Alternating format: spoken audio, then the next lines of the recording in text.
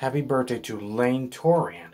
You may recognize him as the original voice of Arnold Shortman, and he also voices Wolfgang and, and others in, in, in Hey Arnold. And he also voices King Bob in Recess as well. So, anyhow, he is 40 years old, and last year we celebrated the 25th anniversaries of Hey Arnold which was debuted back in October 7th, 1996. So anyhow, let me know in the comments, and this is Minion Fan 1024 signing off.